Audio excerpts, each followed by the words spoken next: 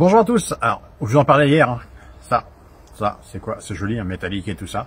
C'est ce qu'on appelle un piège à putange. Un piège à putange sert pour euh, de la taupe. On la met, on l'installe ici. Ça nous permettre de piéger la taupe. Alors, la taupe piégée, bien sûr, quand elle est réellement nocive, quand elle est euh, au fond d'un jardin où vous êtes dans une zone où vous n'allez pas. Bien sûr, on la laisse, elle a son rôle dans le- l'environnement. Maintenant, quand elle est euh, au niveau de votre pelouse, au niveau de l'entrée, tout ça, au-delà du visuel qui est pas forcément esthétique, surtout les risques bah, de se laisser une cheville ou autre en marchant dessus. Donc là, oui, on va pouvoir traiter la taupe. Maintenant, si elle est au fin fond de votre jardin, on la laisse.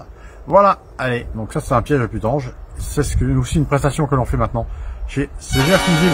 Allez, vous avez vu, ça y est, j'ai dit le coup. Allez, bye bye, à bientôt